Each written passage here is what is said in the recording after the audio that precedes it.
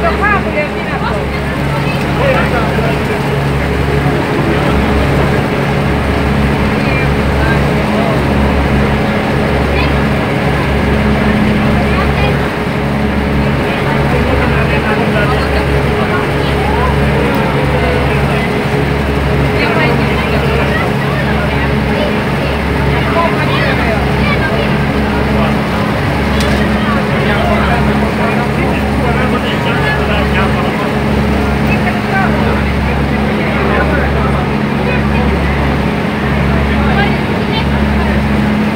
Monastery Dionysius is built on a rocky side 80 meters over the sea. Founded in the 14th century by Saint Dionysius.